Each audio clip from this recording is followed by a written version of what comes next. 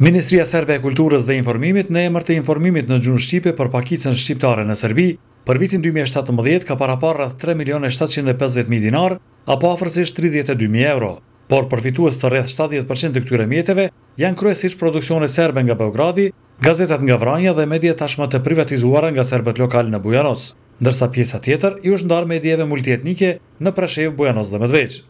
Ndaj kësaj dukurie kanë reaguar përfaqësues të Këshillit Kombëtar Shqiptar. Kanë fituar mediat që kanë konkuruar në emër të informimit shqip nga Vranja, Nishi apo Beogradi. Reagimi jonë është drejtuar ndaj ministrisë sepse ky për neve është i papranueshëm, mediat që kanë përfituar serbe nuk kanë audiencë shqiptare. Të pakënaqur me distribuimin e mjeteve të Ministrisë së Kulturës dhe Informimit janë edhe përfaqësues të medieve që emitojnë program në gjuhën shqipe.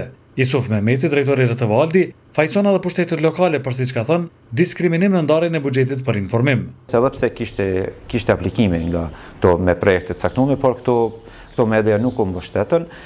Kjo ky diskriminim përveç qi po po reflekton nga Ministria e Kulturës dhe Informimit nga niveli qendror, kjo po bartet edhe në nivelin lokal. Ndërkaq, përfaqësues të KDNJ-së e vlerësojnë të papranueshme praktikën e tillë të ndarjes së mjeteve për informim në gjuhën shqipe. Tu e pas parasysh se komplet Republika e Serbisë tashmë zhytur në një sistem totalitar nga vetë kryeministri i kaluar tashmë presidenti Vuçiç, njëkohësisht aty reflektohet edhe vetë diskriminimi i drejtpërdrejtë ndaj mjeteve edhe lokale shqipe në Luginën e Preshevës. Në Luginën e Preshevës aktualisht veprojnë katër televizione, tri radio dhe një gazetë që informon në gjuhën shqipe, si dhe dhjetra portale të organizatave joqeveritare.